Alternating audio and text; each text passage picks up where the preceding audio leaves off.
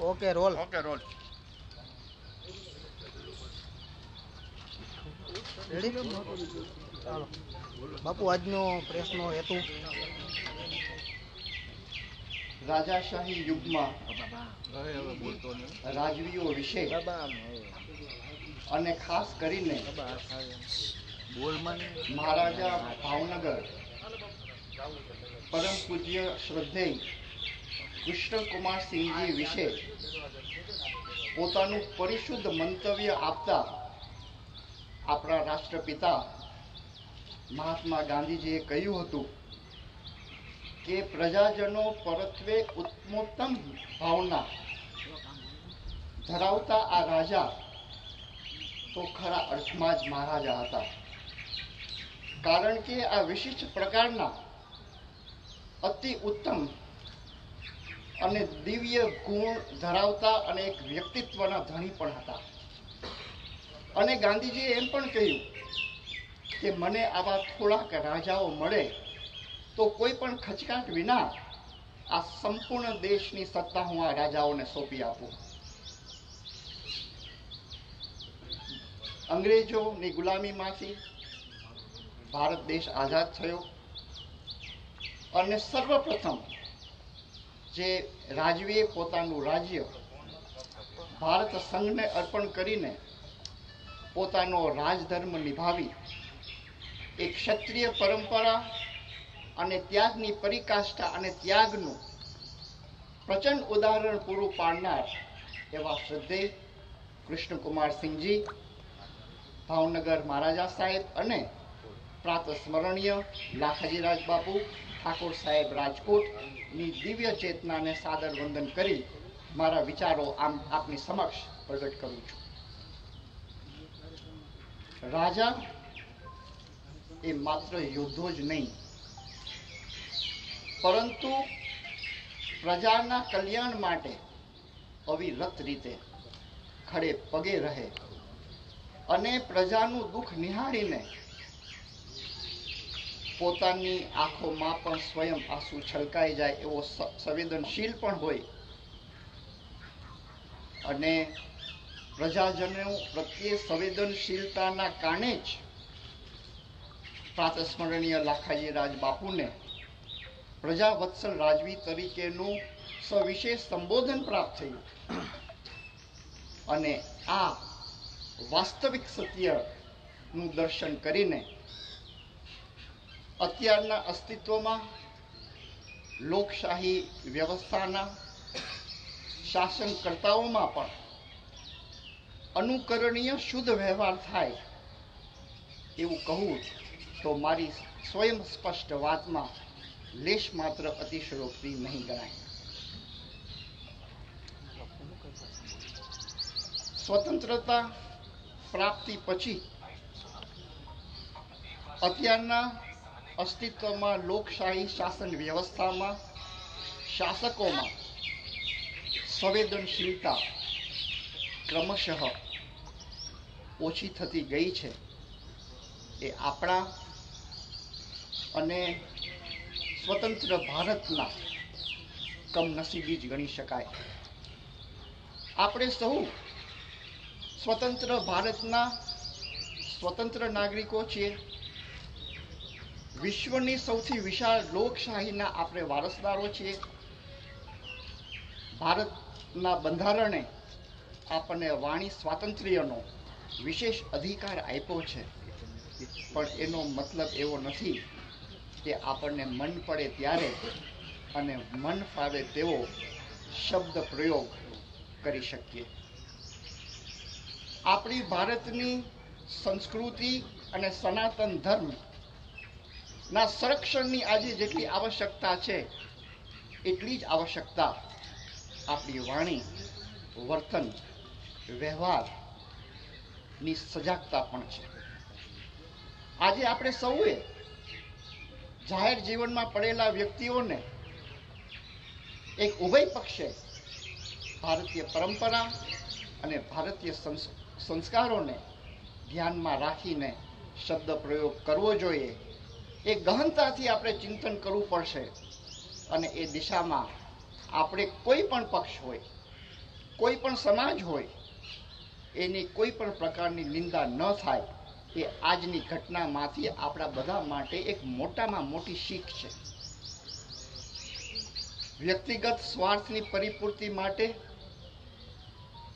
અન્ય કોઈ પણ વ્યક્તિ જૂથ સમૂહ કે સમાજ માટે કોઈ એવી ટિપ્પણી કરવી એ મારી દ્રષ્ટિએ માનવતાનું હનન છે. તાજેતરમાં ભારતીય જનતા પાર્ટીના રાજકોટ લોકસભા મત વિસ્તારના ઉમેદવાર શ્રી પરસોત્તમભાઈ રૂપાલાએ આપણા રાજા મહારાજાઓના ઉલ્લેખ સાથે ક્ષત્રિય સમાજની દીકરીઓને માન, સ્વમાન, સન્માન અને સ્વાભિમાનને ઊંડી ચોટ પહોંચે એવું વિધાન કર્યું તે સાંભળીને મને અત્યંત આઘાત લાગ્યો છે. મારી વાણી, બુદ્ધિ, ચિત્ત અને હૃદય પર આ આઘાતનો ચોટ એટલો ઊંડો અને તીવ્ર છે કે હું ખામોશ થઈ ગયો હતો. લોક સાહિત્યના મરમગ્ન અને ભારત સરકારના એક કેબિનેટ મંત્રીના મુખેથી થયેલા ઉચ્ચારણો એક રાજ પરિવારના સદસ્ય તરીકે આઘાતજનક હોય જ એ સહજ અને સ્વાભાવિક છે. પરંતુ ભારતીય સંસ્કૃતિ અને સનાતન ધર્મના ઉપાસક એવા એક ભારતીય નાગરિક તરીકે પણ એ આચંકાજનક રહ્યું. મેં તત્કાલ પોતાને ટેલિફોનિક ચર્ચામાં મારી નારાજગી વ્યક્ત કરી અને આ ગંભીર ભૂલને વિના વિલંબે સુધારી લેવા માટેનો આગ્રહ પણ રાખ્યો. અમારી નારાજગી અને એમને કરેલી ભૂલને સુધારી લેવા માટે અમારા સમાજના મોભીઓ શ્રી ભૂપેન્દ્રસિંહજી ચુડાસમા શ્રી કેસરીસિંહજી સહિત અમારા બધાનો આગ્રહનો પૂર્ણ રીતે આદર કરીને શ્રી પરસોત્તમભાઈએ ક્ષમા યાચનાનો વીડિયો મીડિયાના માધ્યમથી પ્રસારિત પણ કર્યો.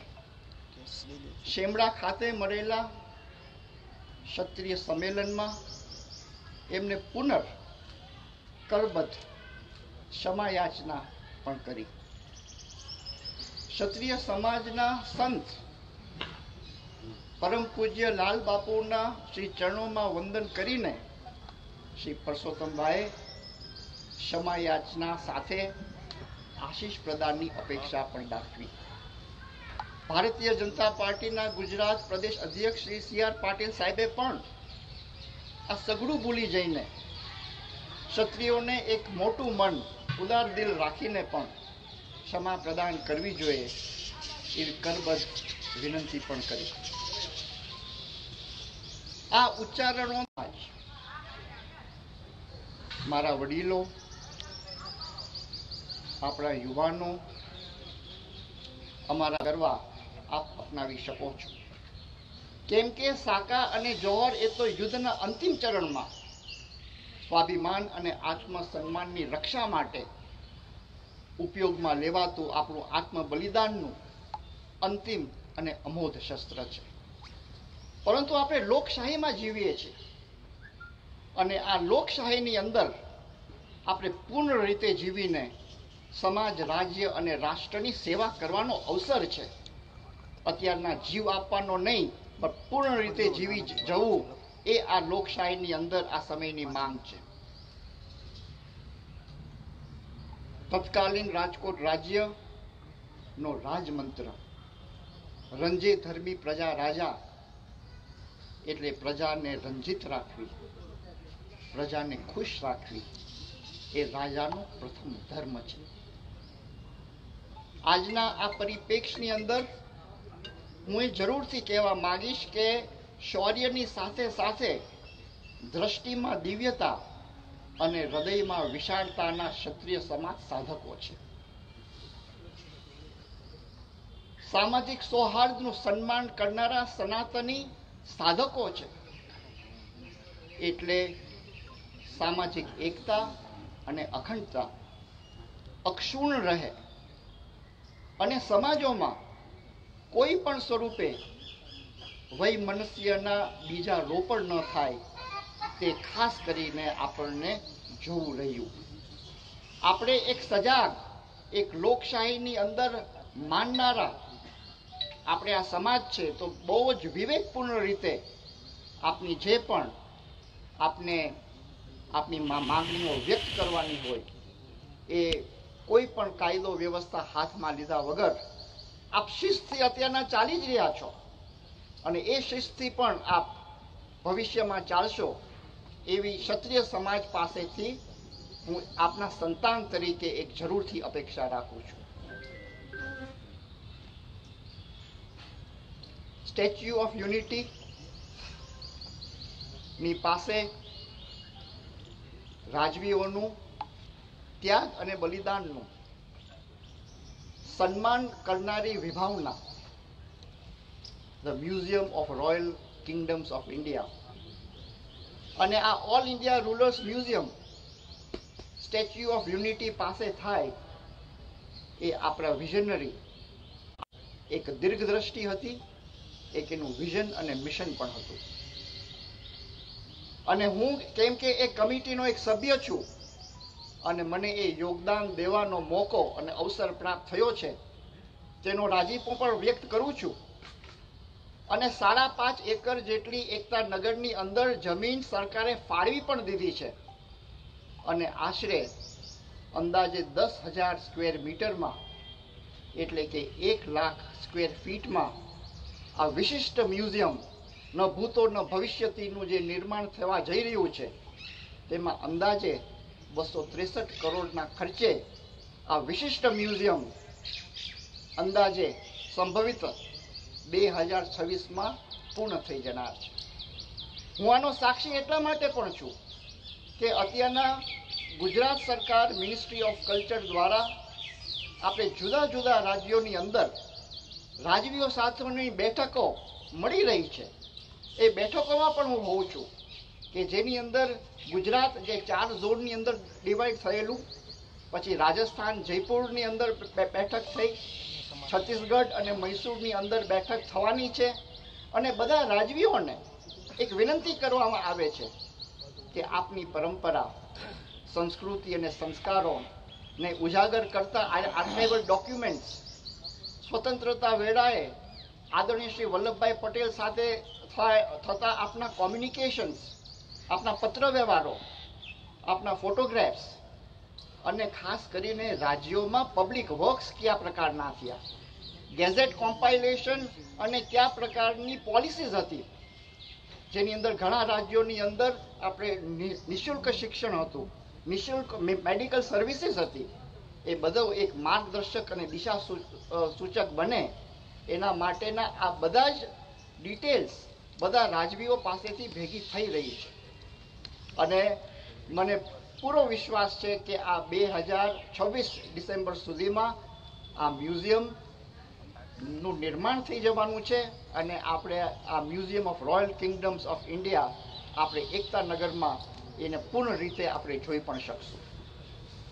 મને એ પણ એક આપની સાથે હું એક શેર કરી શકું એમ છું કે શ્રી હરભમજી રાજ બોર્ડિંગ છાત્રાલય કે જે પૂજ્ય લાખાજીરાજ બાપુ અને કુમાર સાહેબ હરભમજીરાજ બાપુ મોરબીના સવે, સવિશેષ યોગદાનથી થયું છે.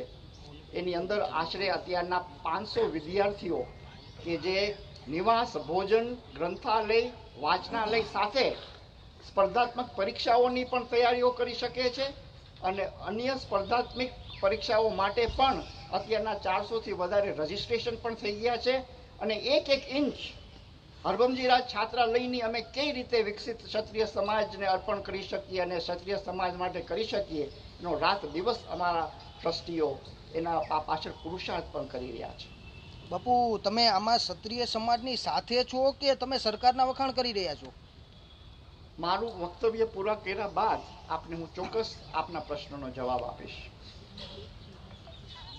અને સાથે સાથે આપણે અત્યારના જ્યારે એક રગે રગમાં જે પ્રધાન સેવક છે, એને સનાતન ધર્મ અને રાષ્ટ્ર રક્ષાની ખેવના સહે છે અને એનામાં એ વહી રહી છે, જેમાં કરણી અને કતનીમાં કોઈ જ પ્રકારનો જેને ભેદ નથી, જેના વાણી, વર્તન, વિચાર, વ્યવહાર અને કર્મમાં જેના મા ભારતીની સમર્પિત સેવા જ છે.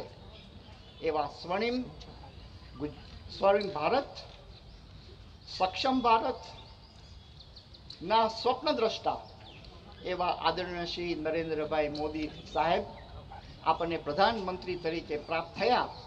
તેના એક સક્ષમ નેતૃત્વ હેઠળ એક દશકના ટૂંકા ગાળામાં જ આપણા રાષ્ટ્રને જે વિશ્વભરમાં જે સ્થાન મળ્યું છે એ આપ બધા જ એમાંથી સુપરિચિત છો. અત્યારનો સમય, હું એક ભારતીય જનતા પાર્ટી સાથે રાષ્ટ્રવાદી વિચાર સાથે વરાયેલો પણ છું. હું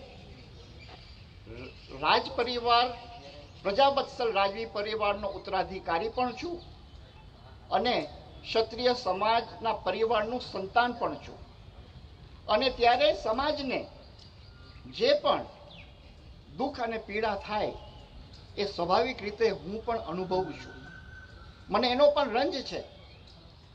પરંતુ સાથે સાથે આ સમય હું આપના માધ્યમ દ્વારા કહેવા માંગુ છું કે આ સમય માત્ર વાદ વિવાદ, આક્ષેપો, પ્રતિ આક્ષેપો નો નહીં પરંતુ સંવાદની ભૂમિકા સાથે આગળ ધપવાનો અને જેમ ક્ષત્રિય સમાજ જે રીતે સંસ્કૃતિ, સનાતન ધર્મ, સનાતન ધ્વજના નીચે એ કાર્ય કરતા હતા તેવી જ રીતે આપે બધાએ જોયું છે કે રામલલ્લા રામ મંદિરનું પ્રાણ પ્રતિષ્ઠા મહોત્સવ, એક્સપ્રેસ હાઈવે જે બેટ દ્વારકા ઉપર થયો છે સમુદ્રની અંદર, દ્વારકાધીશનો જૂના મહેલની અંદર એને વંદન કરીને જેને નિર્દેશ પણ આપ્યો છે. અને આગળ એ એ સૂચક પણ છે એમનું ત્યાં જવું એવા ક્ષત્રિય સમાજ જે સનાતન ધર્મ અને અને ભારતીય સંસ્કૃતિના જે વાહકો છે, તેવી જ રીતે આદરણીય શ્રી નરેન્દ્રભાઈ મોદી એના સક્ષમ નેતૃત્વનું આજે આપણે જરૂર છે ત્યારે આપણે માત્ર ને માત્ર, હું આપના માધ્યમ દ્વારા કહેવા માંગુ છું કે માત્ર ને માત્ર રાષ્ટ્રહિતનું પણ આપણે વિચાર કરીને એમને પુનર આપણે પ્રધાનમંત્રી તરીકે પુનઃસ્થાપિત કરીએ કે જેથી આપણો, આપણું રાષ્ટ્ર એક પાવન પથ ઉપરનું જે આપણે પ્રયાણ કરીએ છીએ એ આપણે સિદ્ધ કરી શકીએ. બાપુ, હા, તમે સરકારના વખાણ જે રીતે અત્યારે કરી રહ્યા છો, એટલે ક્ષત્રિય સમાજની સાથે છો કે કારણ કે ક્ષત્રિય સમાજ એ સવાલ ઉઠાવી રહ્યું છે કે પરસોત્તમ રૂપાલાની ટિકિટ ખેંચાય. પણ તમે સરકારના વખાણ એટલે ક્ષત્રિય સાથે છો કે કઈ રીતે છો? આ ટૂંકા શબ્દોમાં. મારા વક્તવ્યમાં આપને ક્યાંય પણ એવું નહીં લાગે કે હું ક્ષત્રિય સમાજથી વિમુખ છું. હું ક્ષત્રિય સમાજની સાથે છું એટલા માટે જ એક વેદના થતી હોય છે એટલા માટે જ દુઃખ થતું હોય છે. અને એટલા માટે જ હું મારી વિનંતી પણ મેં ક્ષત્રિય સમાજને મારા વક્તવ્યમાં કરી છે. બાપુ ટિકિટ ખેંચાવી જોઈએ કે ન લાગણી છે કે આની ટિકિટ રદ થવી જોઈએ. ભાજપ છે જે રીતે પ્રચાર કર્યો છે આ બાબતે મક્કમ જોવા મળશે. આપે કહ્યું કે આનું સુખદ અંત આવવું જોઈએ. શું સુખદ અંત હોઈ શકે? ટિકિટ આપવી કે ટિકિટ રદ કરવી? એ પાર્લામેન્ટરી બોર્ડના અધિકાર ક્ષેત્રમાં છે.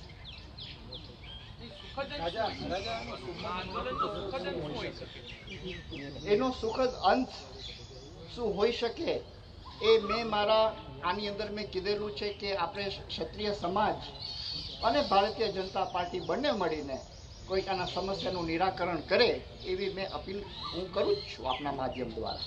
એટલે બાપુ ક્ષત્રિય ટિકિટ આંદોલન ચાલુ રાખવું જોઈએ કે બંધ કરી દેવું જોઈએ શું કહેશો? ક્ષત્રિય સમાજ એક એવો સમાજ છે કે જે બહુ વિચારશીલ સમાજ છે. યુદ્ધ લાલસા કે યુદ્ધ ભીરુતા એ ક્ષત્રિય સમાજના સ્વભાવમાં પણ નથી અને સંસ્કારમાં પણ નથી. આને કેવી રીતના નિરાકરણ કરવું એના પ્રયત્નો ચાલુ છે? અને ક્ષત્રિય સમાજ અને ભારતીય જનતા પાર્ટી વચ્ચે ચોક્કસપણે કાંક બેઠક કાંઈ બેઠક સ્થાયી સંકલન સમિતિ પણ અમારા ભારતીય જનતા પાર્ટીના મોવડીઓને મળે અને કંઈ નિરાકરણ થાય એની હું આ આ વંદન સહ અપીલ કરું છું. રાજા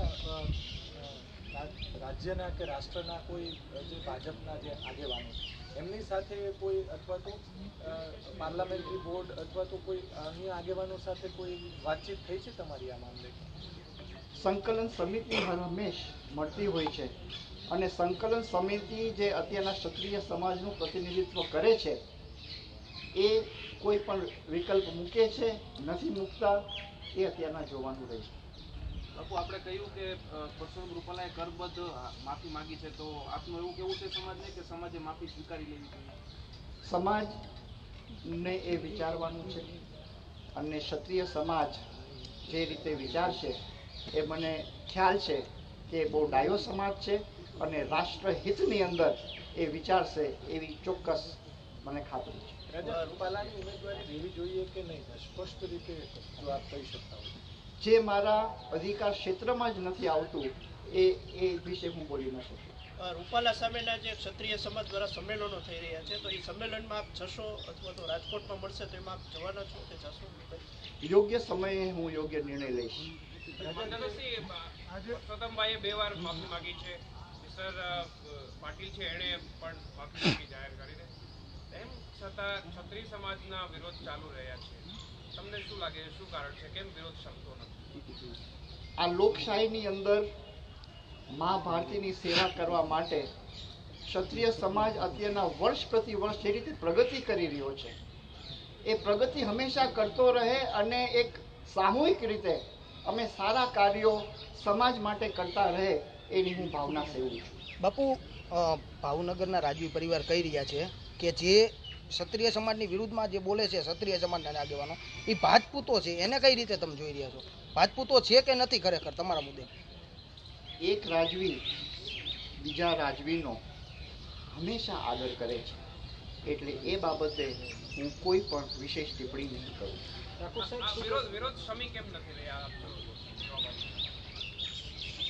આની અંદર મેં આપને જેમ કીધું કે આ સમય એવો છે કે આપણે બધાને રાષ્ટ્રહિતને ધ્યાનમાં રાખી અને વાદ વિવાદ અને આક્ષેપો પ્રતિ આક્ષેપો નહીં પણ સંવાદ એક માત્ર સંવાદની ભૂમિકાથી જ આપણે બધા એક આગળ વધી શકીએ.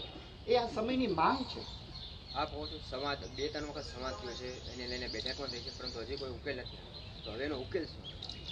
હું અપેક્ષા ચોક્કસ સમાજ પાસેથી રાખીશ.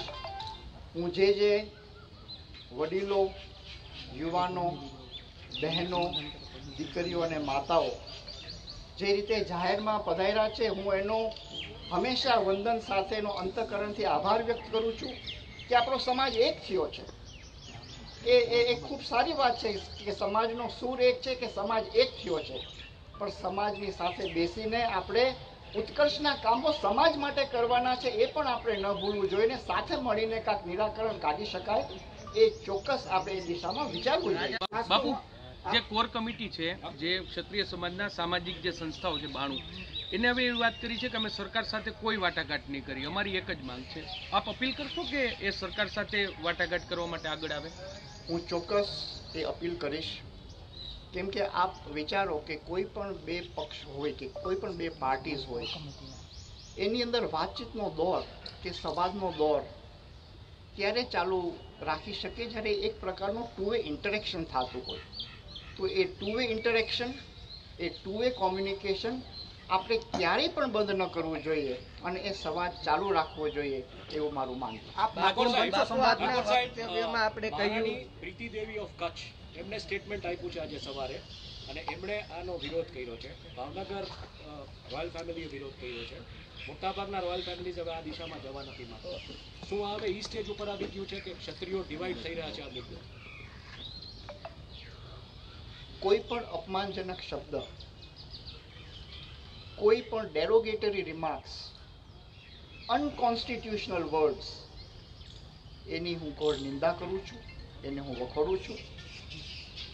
એટલે જે આ વસ્તુ છે, આ ઘટનામાંથી મને લાગે છે કે આપણે મોટામાં મોટો અનુભવ જે આપણા બધાને મળી રહ્યો છે, કે જાહેર જીવનમાં પડેલા કોઈ પણ વ્યક્તિને કોઈ પણ સમાજ માટે આવી ટિપ્પણી ન કરવી જોઈએ એ મને લાગે છે કે આ મોટામાં મોટી શીખ આપણા બધા બાપુ ગઈકાલે એક સંસ્થાના બાપુ એક જણાવ્યું કે ક્ષત્રિય સમાજના બહેનો જ્યારે બહાર નથી નીકળતા પુરુષો શાક બકાલું લેવા જતા હોય છે ત્યારે આજે બહેનોને એની સંવેદનશીલતાને કેટલી ઠેસ પહોંચી હશે? શું કેવું છે એના ઉપર? જ્યારે આજે બહેનો દીકરીઓને બહાર નીકળવું પડ્યું છે આને આપ કઈ રીતના જોઈ? બહેનો દીકરીઓને જે ઠોસ પહોંચી છે એનું દુઃખ હું ક્ષણ પ્રતિ ક્ષણ એ અનુભવી શકું છું. અને મારા દીકરીઓ અને બહેનો ને કંઈક પ્રકારની સાંત્વના મળે એ તરફ હંમેશા અમને વિચારવાનું રહે. બાપુ, અત્યારે પાટીદાર સમાજના એક- કરવામાં આવ્યું છે કે જે આ પહેલાની જ્યારે સરકાર બે હજાર સત્તરથી બાવીસ એ દરમિયાન રાજ્ય સરકારમાં ક્ષત્રિય સમાજના ત્રણ ત્રણ મંત્રીઓ હતા અને ખૂબ જ સારું પ્રતિનિધિત્વ આ વખતે એક પણ પ્રતિનિધિ, મોટા પ્રતિનિધિ નથી. અથવા તો પહેલા કરતાં ઓછું વર્ચસ્વ. જેના કારણે પણ ક્ષત્રિય સમાજની અંદર ક્યાંક રોષ છે? મારો વ્યક્તિગત અભિપ્રાય આપની સમક્ષ વ્યક્ત કરું છું કે સમાજના ઉત્કર્ષમાં જે પણ વ્યક્તિ ભેગ ધારણ કરે, જેમ કે હું ક્ષત્રિય સમાજના ઉત્કર્ષ માટે સમર્પિત છું અને ક્ષત્રિય સમાજ અને અન્ય સમાજોને સાથે રાખીને એ એક એકતા અને અખંડતા રહે એ અમારો રાજધર્મ છે. એ પરંપરા છે. એ પરંપરાનો હું હું ઉત્તરદાયી છું. તો એ- એ સંજોગોની અંદર મારો માત્ર ને માત્ર ધ્યેય એ અત્યારે ક્ષત્રિય સમાજ અને અન્ય સમાજના ઉત્કર્ષ માટેનો હોય એટલે ટિકિટ મળે, ન મળે એ એ એ પ્રશ્નની અંદર કે ક્ષત્રિય સમાજને ટિકિટ મળી છે કે નથી મળી છે એમાં હું પડવા જ નથી માંગતો. બાપુ, રૂપાલા સાહેબનું જે નિવેદન હતું, આપે કહ્યું, સમાજને ઠેસ પહોંચી છે, તમને પણ ઠેસ પહોંચી છે. આપે કહ્યું કે રૂપાલા સાહેબે માફી માંગી લીધી છે. હવે ઠાકોર સાહેબની કયા પ્રકારની લાગણી છે? તમે વ્યક્તિગત રીતે એમને માફ કરો છો કે કેમ?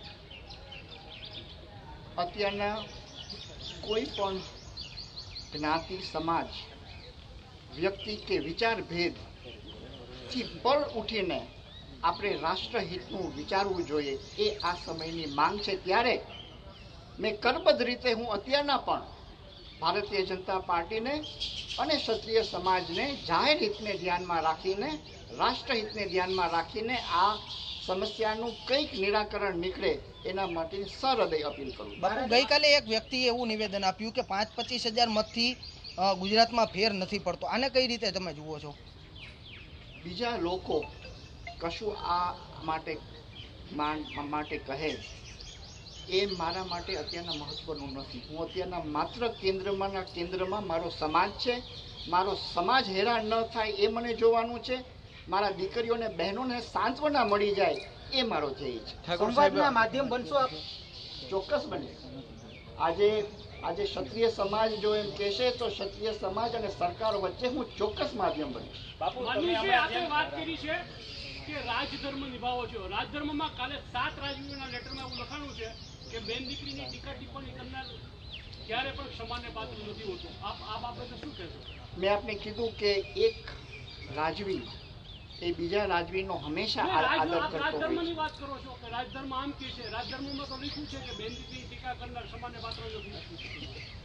આજે આપ માનો છો કે રૂપાલાએ ટીકા કરી છે કે નથી આજે શબ્દો જે શ્રી પરસોત્તમભાઈ ઉચ્ચાર્યા એને હું વખોડું છું. એ તો મેં આપને પહેલાં જ કીધું છે કે આ પ્રકારના શબ્દોનું ઉચ્ચારણ જે વાસ્તવિકતાથી સાવ વિરુદ્ધમાં હોય જે ઇતિહાસથી વિરુદ્ધમાં હોય એ કોઈ પણ સમાજ માટેનું ઉચ્ચારણ ન થવું જોઈએ.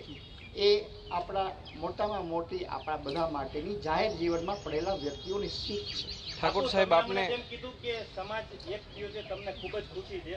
ત્યારે આ ભેગા થયેલા સમાજની જે લાગણી અને માગણી છે તેને તમે ન્યાય અપાવશો? હું ચોક્કસ એક માધ્યમ માટે હું હંમેશ ક્ષત્રિય સમાજ માટે તૈયાર છું. આજે કોઈ પણ આજે સંવાદ માટે પણ એક જ સ્પષ્ટ એક જ વાત છે કે ટિકિટ રદ થવી જોઈએ આવી રજૂઆત કરશો તમે? આજે આપણે ક્ષત્રિય સમાજનું પ્રતિનિધિત્વ કરતી સંકલન સમિતિ એની સાથે જો ક્ષત્રિય સમાજ એ સંકલન સમિતિને કોઈ પણ ઓપ્શન્સ દેવા માંગતી હોય અને કાંઈ પણ કહેવા અને સરકાર સામે પાસે કાંઈ પણ વાત કરવા માંગતી એનું માધ્યમ બનવા માટે હું હંમેશા તત્પર છું ઠાકોર સાહેબ અગેન રિક્વેસ્ટ રિસ્પેક્ટ સાથે આપને પૂછી રહ્યો છું. આપ સરસ્વતીના સાધક હોય તેમ વાત કરી રહ્યા છો. સિદ્ધિને સિમ્પલ વાત છે. આપ પરસોત્તમભાઈ રૂપાલાને માફ કરી રહ્યા છો કે કેમ? અમારે સીધો જ જવાબ જોઈએ છે. ક્ષત્રિય સમાજ અને ભારતીય જનતા પાર્ટીને આ બાબતેની મેં જે અપીલ કરી છે અને સંકલન સમિતિ પણ એ પાર્ટી સાથે બેઠક કરે અને સવાદનો દોર ક્યારેય પણ આપણે બંધ ન કરવો જોઈએ એ મારું ચુસ્ત મંતવ્ય છે.